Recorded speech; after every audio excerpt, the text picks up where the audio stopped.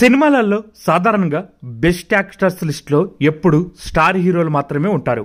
కానీ రెండు వేల ఇరవై మూడు సంవత్సరంలో మాత్రం స్టార్ హీరోలు మాత్రమే కాదు క్యారెట్ ఆర్టిస్టులు మరియు యువ కథానాయకులు కూడా ఉన్నారు.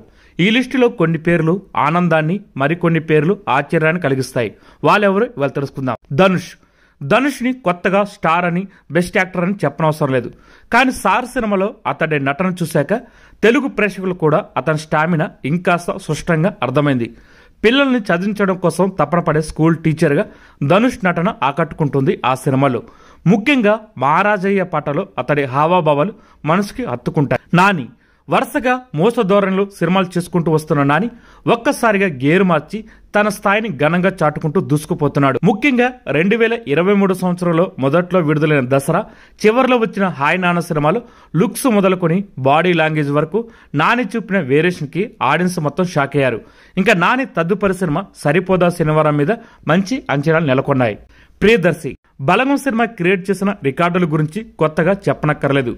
కానీ ఈ సినిమాలో పెళ్ళి కోసం పరితపించే యువకుడిగా తాతయ్య కోసం ఆరాటపడే మనవడిగా ప్రియదర్శి కనబరిచే నటన అందరినీ అలరించింది. ముఖ్యంగా క్లైమాక్స్లో తన తప్పు తెలుసుకుని ఏడ్చే సన్నివేశం ప్రియదర్శి అందరి చేత కన్నీరు పెట్టించాడని చెప్పాలి. కేవలం కామెడీ లేకపోతే సైడ్ యాక్టర్స్ రోల్స్కి పరిమితం అయిపోకుండా ప్రియదర్శి మధ్య మధ్యలో ఇలాంటి రోల్స్ చేస్తే నటుడిగా అతడి స్థాయి పెరుగుతుందని చెప్పాలి. బ్రహ్మానందం. బ్రహ్మానందం అంటే కమెడీనిగా మాత్రమే తెలుసు జనాలకి. కానీ ఆయనలోని అద్భుతమైన నటుడిని నవతరం ప్రేక్షకులకి పరిచయం చేసిన సినిమా రంగ మార్తాండ.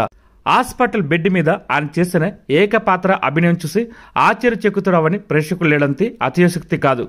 ఇదిరా బ్రహ్మానందం రేంజ్ అని ఆయన అభిమానులందరూ గర్వంగా చెప్పుకున్న చేసిన పాత్ర అది సంతోష్ శోభన్.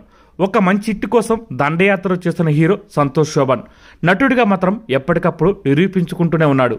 మధ్యలో కొన్ని నాసిరకం సినిమాలు చేసినప్పటికీ అన్ని మంచి శకునం సినిమాలో అతడి నటన విశేషంగా ఆకట్టుకుంటుంది.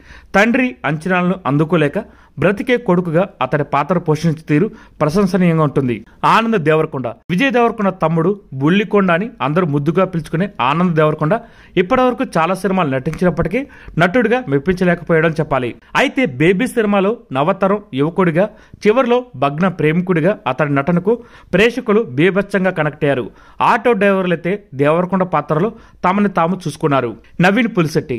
మిస్సెట్టి మిస్టర్ పులిశెట్టి సినిమాలో సినిమా మొదలైన ఇరవై నిమిషాల వరకు కనిపించడు నవీన్ పులిశెట్టి. అప్పటి వరకు చాలా సప్పగా సాగిన కథనం నవీన్ ఎంట్రీతో ఒక్కసారిగా ఊపందుకుంటుంది. Stand up కామెడీనిగా Naveen పల్చడు comedy timing screen presence మిస్సెట్టి mister Pulishetty cinema పెద్ద హిట్ అవడంలో కీలక పాత్ర పోషించని చెప్పాలి. అలాగే ఎమోషన్ సీన్స్ లోను తన సత్తా చాటుకున్నాడు నవీన్ పులిశెట్టి. నందమూరి బాలకృష్ణ భగవత్ కేసర సినిమాలో బాలకృష్ణలోని మరో కోణాన్ని పరిచయం చేసింది. తెలంగాణ యాసలో పవర్ఫుల్ పోలీస్ ఆఫీసర్గా బాలకృష్ణ నటన మాస్ ఆడియన్స్ని మాత్రమే కాదు ఫ్యామిలీ ఆడియన్స్ని కూడా ఆకట్టుకుంది. ముఖ్యంగా శ్రీలీలకు తండ్రి సమానుడిగా బాలకృష్ణ ఒదిగిపోయిన తీరుపై అభినందనలు జల్లు కురిసింది. ప్రభాస్ అసలు ప్రభాస్ అంటేనే అందరికి ముందు గుర్తొచ్చేది కటౌట్. ఆ కటౌట్ని సరిగ్గా వాడుకున్న దర్శకుడు ప్రశాంత్ నీల్ సలార్ సినిమాలో ప్రభాస్ నటన బాడీ లాంగ్వేజ్ స్క్రీన్ ప్రజెన్స్ అభిమానులకు ఫుల్ మిలిసిపెట్టాయి. అన్నిటికంటే ముఖ్యంగా ఎక్కువ డైలాగ్స్ లేకుండా చాలా సింపుల్గా ప్రభాస్ చెప్పే పగిలిందా రెండు నిమిషాలుంటే దొరలా రెడీ చేస్తానంటూ సెటిల్గా చెప్పే మాస్ ఎలివేషన్ డైలాగ్స్ అద్భుతంగా పేలాయి ఈ సినిమాలో. శ్రీ విష్ణు. మంచి కామెడీ టైమింగ్ ఉన్న అతి తక్కువ హీరోలలో శ్రీ విష్ణు ఒకడు. అతడి టైమింగ్కి ఆల్రెడీ బ్రోచేవారెవరు మెంటల్ మధ్యలో వంటి సినిమాలు చూసేశాం కానీ సామాజ వర్గం సినిమాలు శ్రీ విష్ణు కామెడీ టైమింగ్ మరో లెవెల్ ఉంటుంది. ప్రతి పంచ్ ప్రతి ఎక్స్ప్రెషన్ బీభత్సంగా వర్కౌట్ అయ్యాయి ఈ సినిమాలో. ఈ వీడియో కనుక మీకు నచ్చితే లైక్ చేయండి షేర్ చేయండి. కుదిరితే సబ్స్క్రైబ్ చేయండి.